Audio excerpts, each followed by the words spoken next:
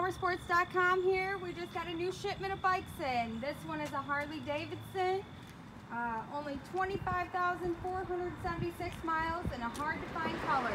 The maroon paint shines like new and the chrome shines bright. This is all stock, no modification guys. It runs strong and needs nothing. This is just serviced at the dealership, inspected, all fluids are changed and it's ready to ride. You can buy with confidence. Give us a call, 810-648-9500. Get financed today and ride today.